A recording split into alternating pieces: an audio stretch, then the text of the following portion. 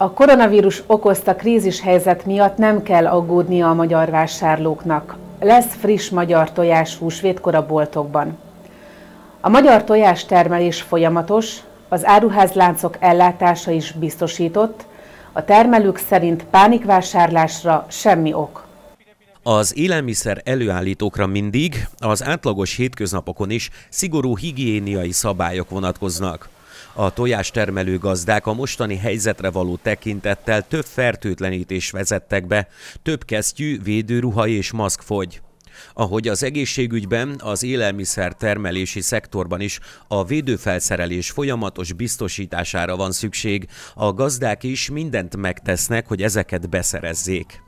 Az elmúlt hetekben a takarmány alapanyagellátásban volt fennakadás a határok lezárása miatt, de a kezdeti bizonytalanságok után sikerült helyreállítani a takarmányellátási láncot. Ezt azzal lehet kordában tartani, hogyha az ember saját maga meg tudja termelni nekik a takarmányt, illetve tehát, hogyha otthon tartunk, akkor amit a konyhából megmaradt maradék, azt a háztáji tyúknak oda lehet adni, amivel lehet csökkenteni a takarmány mennyiségét.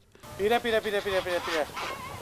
Az elmúlt két hétben termelőtől függően átlagban 30-50 százalékkal több tojást igényeltek az áruházláncok. Ebben az időszakban most szinte minden nap olyan az élelmiszerboltok forgalma, mintha karácsonyra vagy húsvétra vásárolnának be az emberek.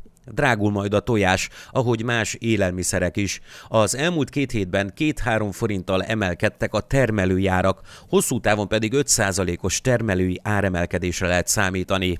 Nyilván baromfi húsára, illetve a tojására is emelkedik, nyilván a takarmányára drasztikus emelésének következtében, illetve nyilván a munkaerő drágulása miatt is. 40-50 forint körülbelül most egy tojás. Én úgy gondolom, hogy húsvétre ez akár 60-65 forintra is felmehet. Az okai az, hogy már is nőtt a nemzetközi szállítás költsége. Emelkedett az importált takarmány alapanyagok ára is több helyen, és a forint-euró árfolyam sem kedvez az importnak. A tojásnál szintén, tehát a takarmány emelkedése az, ami befolyásolja mindenképpen a tojásnak az árát, illetve hát nyilván a munkaerő.